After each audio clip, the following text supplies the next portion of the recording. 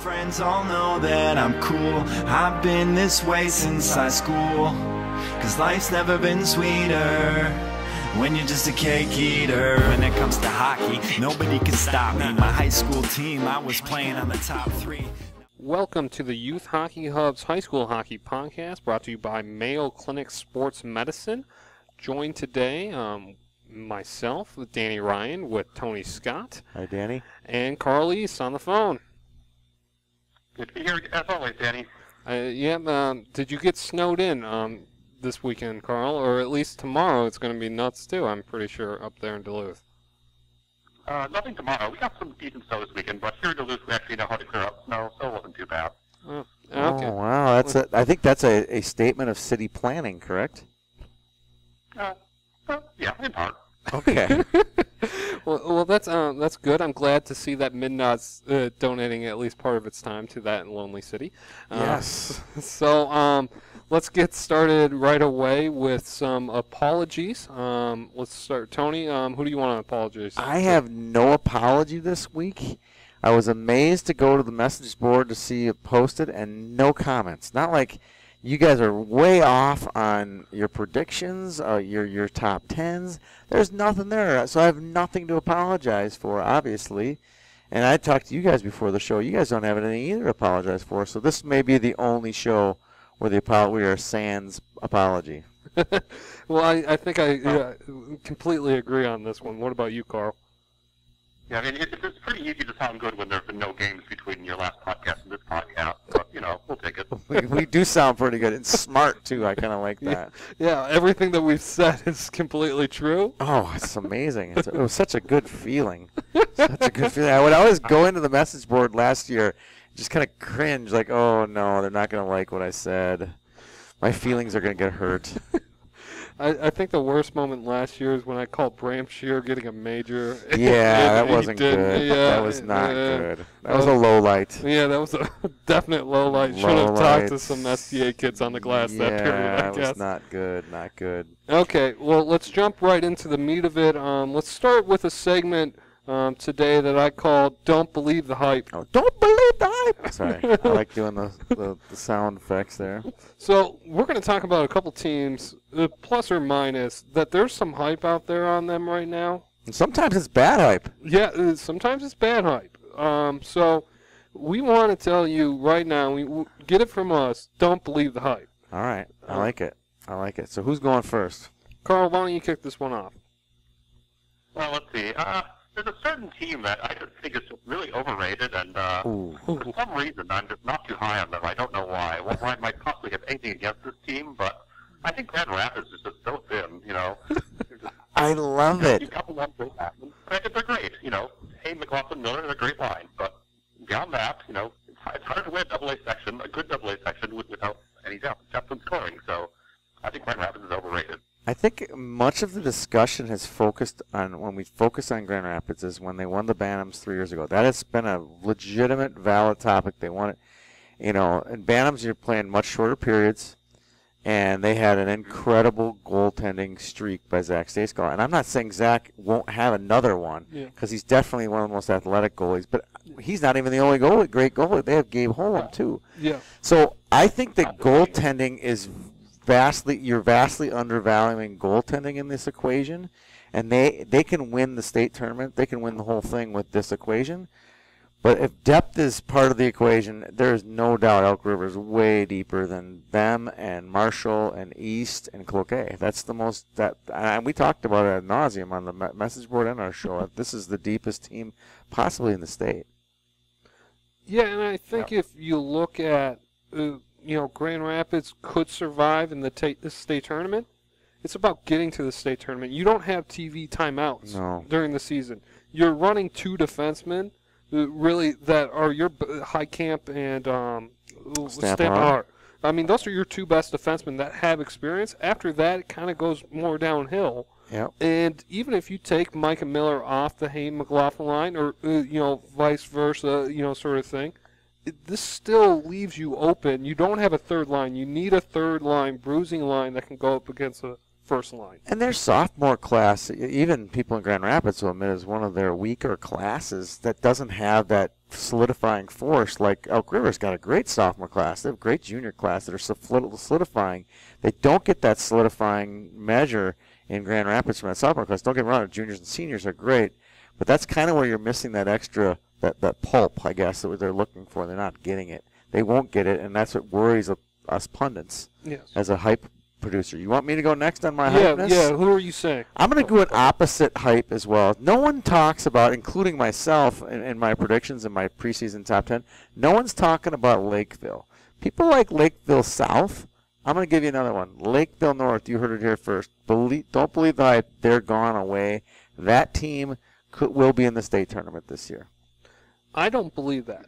I, I think this is Lake uh, Lakeville South year. I think that losing Pele and losing uh, Max Johnson, this is going to be this is going to hurt them. This is not a section that is easy to come out of by any stretch. I just I have a hard time uh, believing that the Taylor Schneiders, you know, the Ennebecks are going to pick up the pieces, and the, uh, the Pearsons of the world are, are going to pick that up and then jump on it. And I still have question marks from their goaltending. What about you, Carl? I kind of like Tony's pick here because I think that the, the thing that I like about Lakeville North is that they have balance. You know, they have a couple of good sco- forwards who can score. They have decent defense. Whereas South, you look at them, it's all defense. It's all defense. They need to find some scoring, and so I, I, I trust North more right now. Yeah, that's a good point. I, I I think these kids have been there.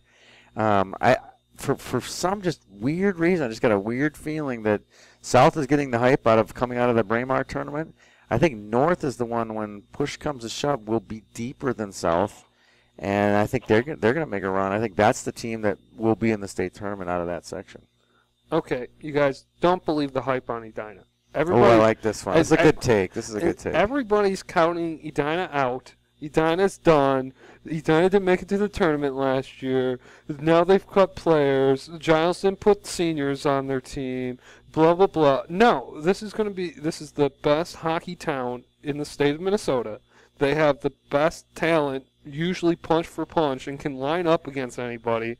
I really, you can't believe this, and they have one of the best coaches in Curt Giles. And I think the the black cloud of Dave Langevin leaving Yeah. brings in a lot of sunlight, a new fresh breath of fresh air. I think that this is going to be.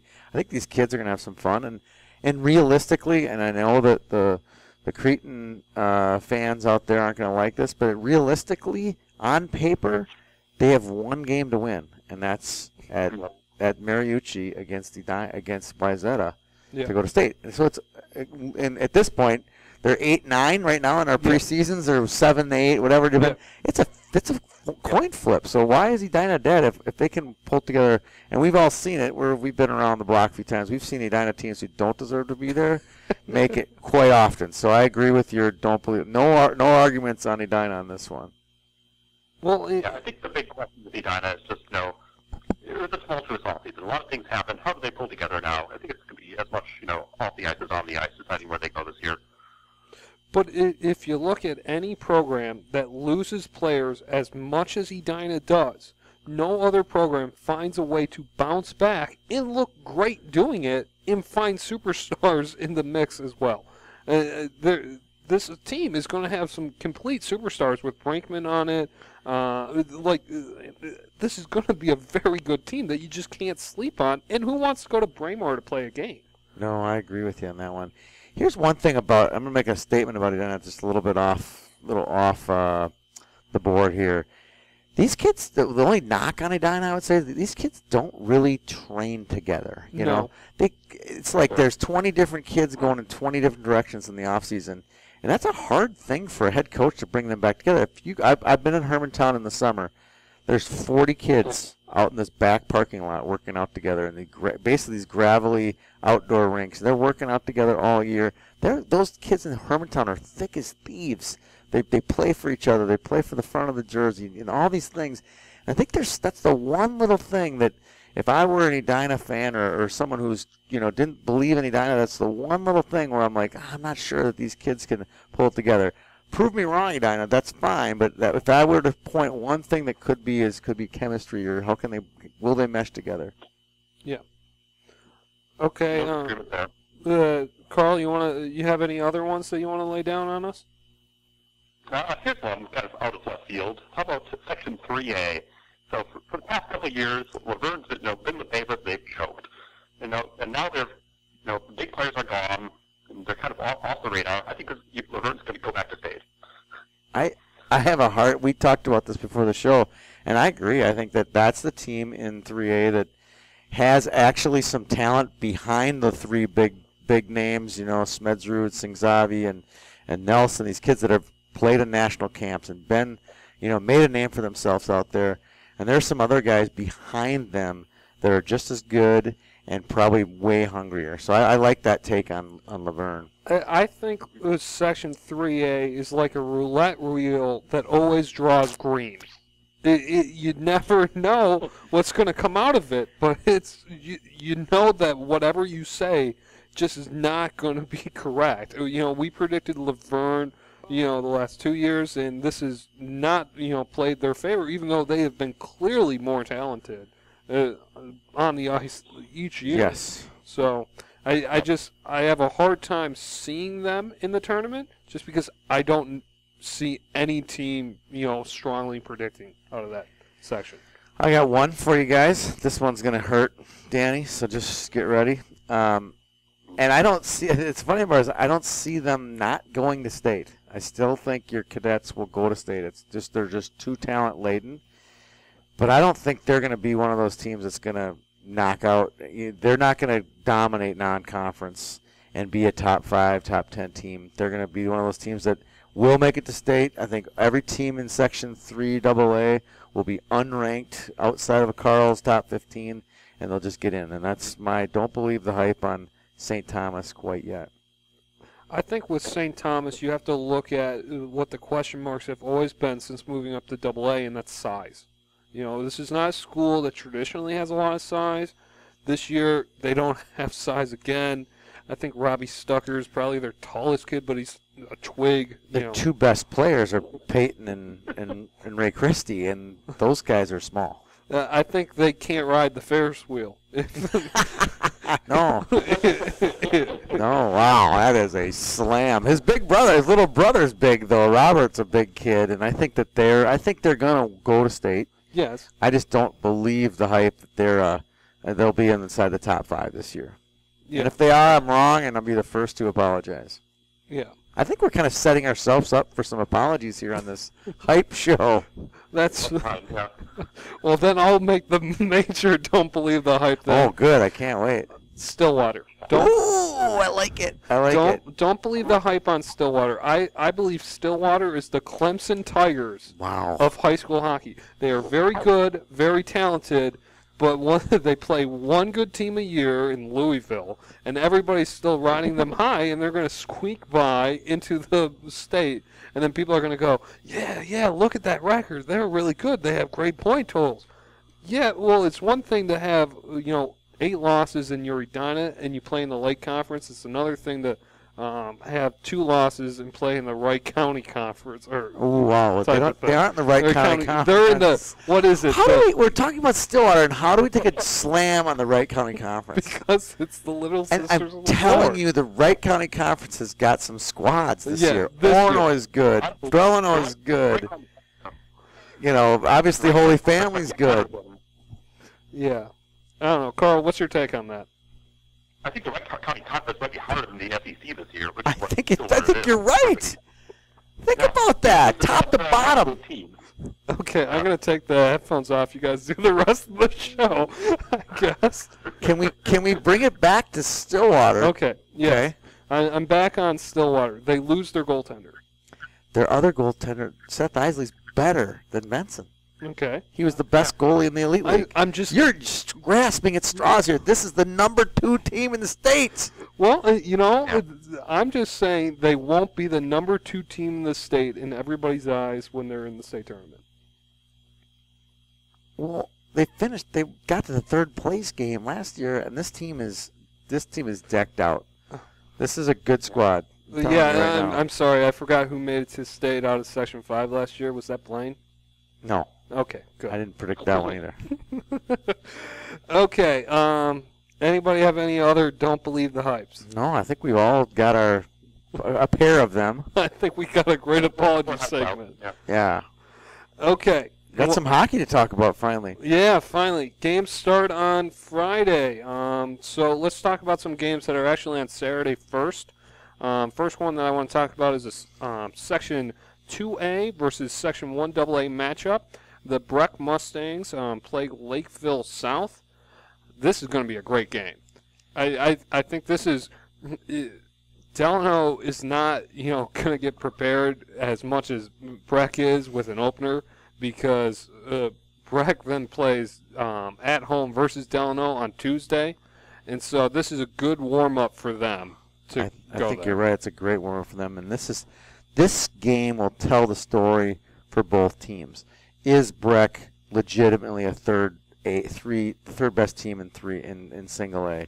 And is if Lakeville South can win, that means hey, they're gonna make a statement like, hey, we're as good as anybody in Double A because you know that Breck is as good as anybody in Double A Yeah. in the top. They're a top ten ish, top fifteen ish. You know, they're a Bemidji. You know, they're right in that that this same zone. So I'm excited to see the outcome of this game. I, I'm going Breck, or we haven't. We're not doing predictions. We're till not later. going predictions. But if I were to pick on this game, I would go Breck on this one. Carl- I'll- I mean, Lakeville South people are just gonna shred me. Carl, what are you thinking? Yeah. Um, you know, it's, I think, you know, we're not really sure what to expect out of Lakeville South, but we're going to find out really quickly. Look at their first three games. They're Breck, Stillwater, and Hermantown. I mean, how's that for a start? Yeah, that's impressive.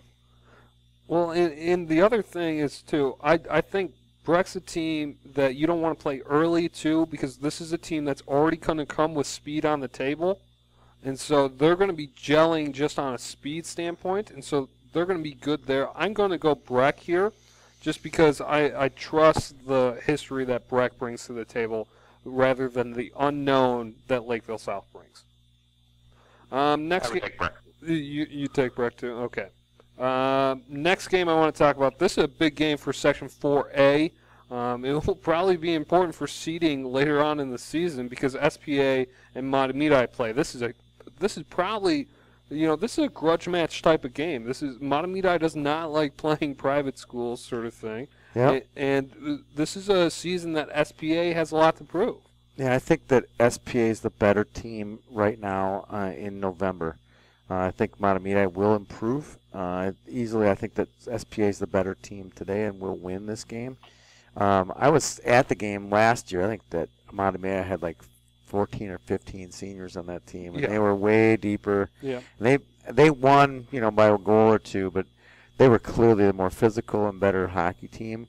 And I like Mahtomedi long term, but I like SPA winning this game on whenever the game is. It's this weekend. Yeah, it's Saturday. What do you think, Carl? Yeah, you, you look at Ma- Mahtomedi, and they, they basically lo- lost all, almost all their scoring from last year. You know, they have, they're a deep Class A program, so they have a lot coming back. They'll be good by the end of the year, but the timing of this game isn't great for the Zephyrs. Well, in the top end talent that an SPA provides in a Dev McCabe and uh, players like that, it, it, it, Picciano, Jack Johnson. I mean, this team is. They're going to be loaded. They're going to score a lot of goals this year. Well, and that's the way um, Funk coaches. Funk comes from that St. Thomas Academy uh, coaching tree where it's score and it's score early, score often, and get as many points on the board in Class A with speed and dump and chase. So, I, I see this going SPA's way. So we're all in agreement on those. Mm-hmm. That's why we're not picking them. That's right. Now let's start picking some games. All right. All right. I smell a turkey trot coming. Mmm, turkey. it's so the first game of the Turkey Trot, five o'clock. Plymouth Ice Center um, is a pretty good matchup in Edina versus Holy Family. Let's throw this one on the table. What are you guys thinking, Tony? You first. There is so much on the line in this game. Yeah. I mean, I mean, these kids trained together in the off season, like I was talking about. They they they know each other really really well, and there's no love lost between these two programs because obviously you got you got the Hankinson and Tabor move over. I mean, there's plenty of Edina kids, plenty of Edina in Holy at the Holy Family camp. Uh, so there's a decent rivalry involved here, which makes for a great hockey game. All their coaches at Holy Family are Edina people. I know, I know. So if you factor all those things in, that just makes for a great hockey game. And then you factor in, you talk, we talked about our non-hype on Edina. They had all the talent, all the Division One kids on that team. Um, I think this team. I, I are we picking right now?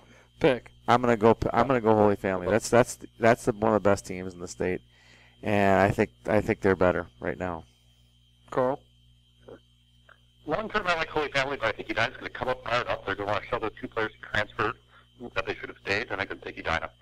I, I'm going to be on your bandwagon too, Carl. History tells me that Holy Family has never won this game. I just don't see it happening. I'm going to see at least, uh, uh, mark my words, there's going to be a five minute major, 10 minute misconduct in this game because there's going to be some hard hits. I, I will agree with you on the on the major penalty being called, no question about it. And I I'll even go one step further. I bet there's going to be a bench minor from one of the two coaching staffs. Because Well- it's just like, it's going to be heated. You know what I mean? I just it's going to be a heated game, and I, I'm I'm excited to hear how it turns out. Well, it can't be Giles because he doesn't talk on the bench. Oh well, I'm not saying either one. I'm just saying one of the someone's. It's going to get heated. Uh, it, it doesn't have to be from the coach. It could be someone from the other from the bench. I'm just thinking both benches are going to be pretty jacked up for this game. I, I just I Edina doesn't lose this game, and they even though Holy Family is playing well right now in the scrimmages, is what we're hearing. I just don't see it happening. Uh, uh, Carl, you think the same way on that? Are we are we taking a tally on this one? Because Yeah. I, am gonna get I'm gonna take my uh, early lead and I'm gonna win Pickums again this year. Carl, Again? Let- let- Let's talk about who won last year for a moment here. I thought I won. No, no, no. In my own little reality, I won the Pickums last year. Yeah. Someone ripped up the standings in the last week. Couldn't handle it. Okay, get back on topic, Carl. Why why is Holy Family going to win in your mind? I said Edina's going to win. Oh, never Oh. mind. Sorry, sorry. I'm trying to get you to I'm, pick. the yeah, I'm uh, I'm uh, I'm the Holy Family guy here. So that was our first game of the picks, Yep. right? So I'm gonna win that one. All right. Okay, second game of the Turkey Trot um, is going to be Wayzata versus Maple Grove. I see this as a pretty one-sided um, game. Oh, I, I don't. I see it's going to be a close game, but I'm going to, before we get into this, I probably call this the who cares game. I mean, this is like, there's a true rivalry on one side of it, and then Yeah. this other game, there's no rivalry between these two. There's, can get played on pick yeah, this is this is just not a very exciting game. I mean, both teams are fairly vanilla, right? well, uh, I would say that both have an edge to them when they want to turn that edge on. Yeah, but I, the edge, if we're talking just hockey player for hockey player, Wayzata is deeper. Wayzata is going to win the game. But we've seen Wayzata at any given time can only put up one goal in a game. Why so, is that boring? so I'm going to, because I want to make this interesting, picks this year interesting, because it really wasn't last year, I'm going to go Maple Grove just to make things interesting. Because it's really easy to pick Wayzata. They're the state champions, and they have lots of confidence and lots of great players. But I'm going Maple Grove in this one. Carl? Okay. I'm going to take Wayzata. It'll be a boring, low-scoring game, but I think Wyzetta will scrape it out. Yeah, With special emphasis on the word boring. yeah, but life after life after Hank, I'm, I'm it's not going to be boring after Hank. You, know, just we have to uh, give it up. But I, I'm going definitely Wayzata on this one. They just have too much talent across the board that they're just going to weigh heavy by the third period, and goaltending is going to stand strong. I, I see. Uh, We still, we still don't know who the Maple Grove goaltender is going to be. Are they going to bring in their freshman in? They could have a freshman goaltender. Hey, that's a four-year starter in my book. Yeah, it could be interesting. It could be interesting who starts that game. Uh, throw his, throw him right into the fire. You know, ugh. and he's good. Trust me, he wouldn't be playing varsity if he weren't a good goalie. But still. yeah, Okay, um, so that's our picks for the Friday Turkey Trot. I guess who wins the Turkey Trot, Tony? Who wins the Turkey Trot? well, because I picked Holy Fam. Yes. Holy Family wins this going away. Holy Family wins it. Okay, Carl. I mean, I think they could running time. Wow. They could get one of these two games in running time. They're that good. Okay, Carl.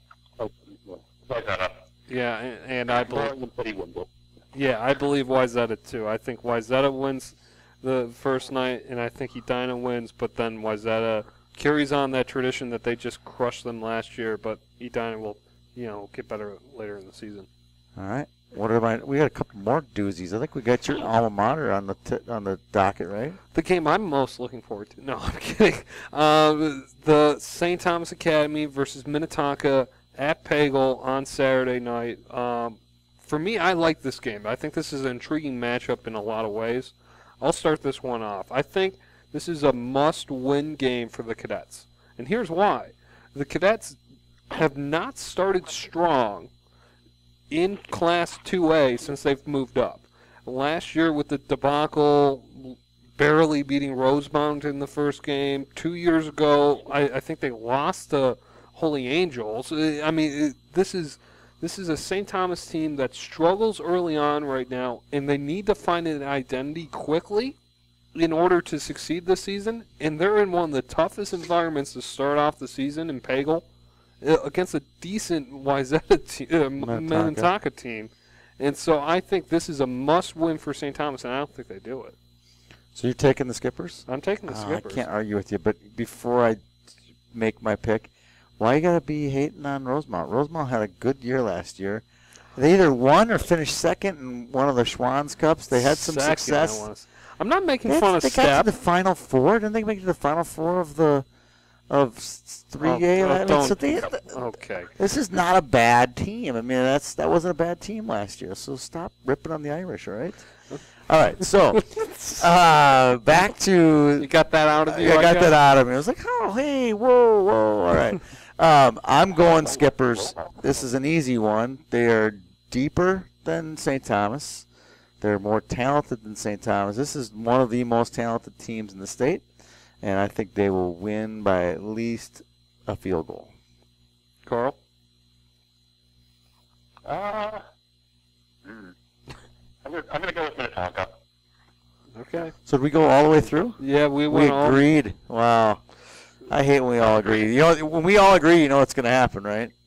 St. Thomas. St. Thomas is going to win. That's the Goocher. Oops. My bad. well, you it would have been a good Goocher if you would have picked last, but you did you picked first, so Well, I just I think St. Thomas. This is, we never play well at Pagel. Um, if the student section comes out in force in Pagel, and they will because it's Saturday night of Thanksgiving. They want to get out and and well, I've seen the opposite there. know, I know. and when when the fans are not involved in that rink, it is a cold, cold rink, and it- quiet. It, it, it is not fun to be there. But when when this rink is rocking, I remember um, when Isaacson was for St. Thomas and we were going against um, Coda and Gardner and stuff like that. That Those good it- teams. It was two rink around, uh, too deep around the whole ledge there. It was pretty cool. So I think you look at uh, if Pagel's rocking, this is going to be a fun environment to be a part of. Uh, I will do a programming note. I'll be broadcasting the Grand Rapids Minnetonka game exclusively on Youth Hockey Hub Next, not this. the following week. So Yep. that's a big night. Hermantown Wayzata at the exact same time. Yeah, so I, Does it get any better than that? yeah, in March. Well, yeah, and I'm talking for December on a Friday night in December. Doesn't get much better than that. November. Not bad. Okay, anybody have anything else to add? Nothing else to add. We're we're all tied up with all of our predictions. Mm-hmm. We're ready to roll. I couldn't be any more excited for uh, the season. Carl? Yeah, in, in the words of Mike Randolph, earn your turkey this week, and we'll see you next week. We'll see you next week. Uh, thank you to our sponsor, Mayo Sports Health Medicine. Okay, and this has been the Youth Hockey Hub's High School Hockey Podcast. Thanks for listening. Last night my kid tore up his league. He had a hat trick right up his sleeve. Coach said he's never seen that. Gemini Athletics gonna have to stitch the C patch. I've got Ferraris, Maseratis, drive all over the place. I drink martinis, never seen these looks all over their face.